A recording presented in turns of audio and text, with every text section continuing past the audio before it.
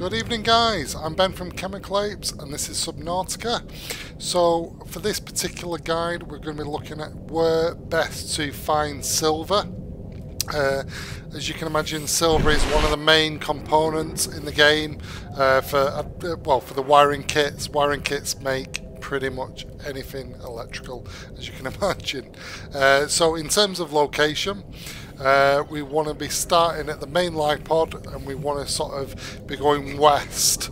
And we want to sort of get right to the grassy plateaus. Um, now ignore that signal there, I need to turn that off actually. Uh, boom. Oh, not turned off. Um, so we want to head straight to the grassy plateaus and then from there I will show you the best locations for this. It is it's quite sort of sparse, um, this particular area. Um, and obviously silver, there's a lot of lead. It is, now silver you will find in the sandstone um, outcrop. Uh, but what you'll find in that is gold and lead, so it can get a little bit tricky, a little bit frustrating.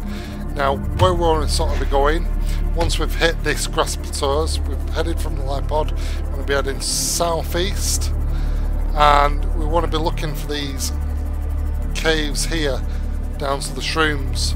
Um, now, it's these walls here where we'll find the majority of sandstone outcrops, which obviously not all the time, but a high chance of getting this silver. So that's two. Welcome aboard, Captain. Let's check out this. Lead. Gold. I mean, don't work your way too much down into it. Uh, you want to stay sort of around this level.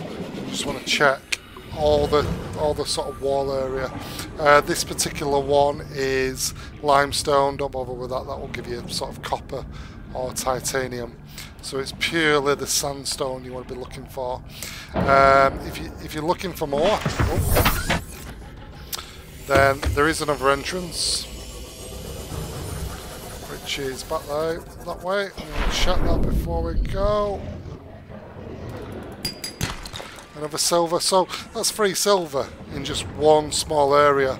Uh, you're going to be hard pressed to sort of get that um, anywhere else really. You can sort of search this grassy plateaus area where it traditionally sort of remains. Um, you can have a look around here. These areas lead, gold, and then you can sort of work your way through around, but it's these particular areas that you want to be sort of looking at.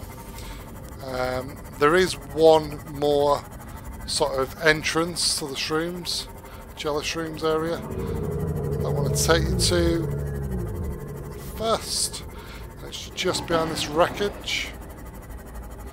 So, north northwest location. Again, just keep your eye out. Don't delve too far into it. Um, and it's really sort of the out, the upper level you want to be looking at.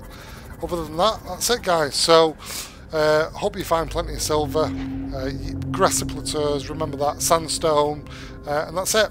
So, subscribe, subscribe. Any comments and likes, more than welcome. And ciao for now. This is me. Bye bye.